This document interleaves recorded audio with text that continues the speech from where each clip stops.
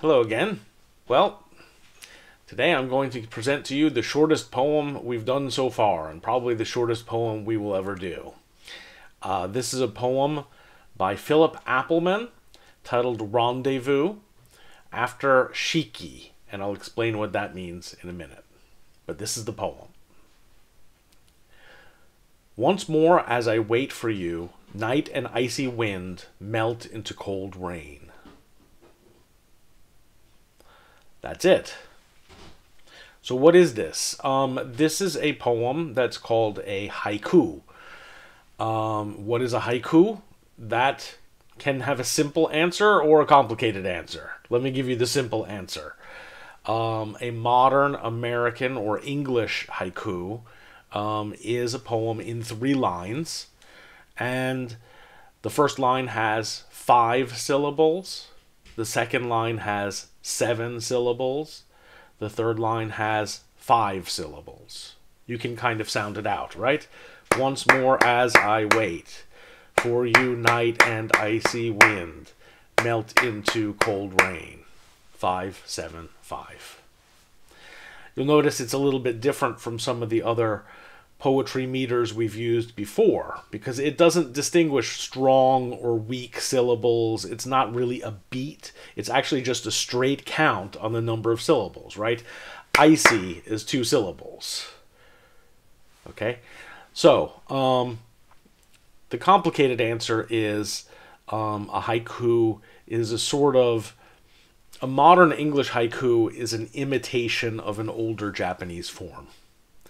Um, and for whatever reason, um, after um, some early modernist poets like Ezra Pound translated poems from Japanese to English, people have become a little fascinated by these short little poetry gems. Just three lines, a simple message.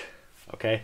Usually a haiku poem should have a sort of uh, profound image or a moving moment or just something that kind of turns or, or surprises you a little bit in it. More traditional Japanese um, haiku is actually part of a longer poetry form, but it almost always included a nature image, and they had a selection of words that you had to use. So um, the form has changed a lot.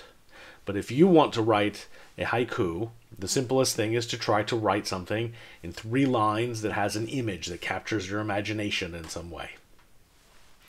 And you can try to stick to the uh, pattern of five, seven, five syllables. Um, so the title of the poem was Rendezvous, and a rendezvous is just an arranged meeting. Let's plan to meet downtown at six o'clock.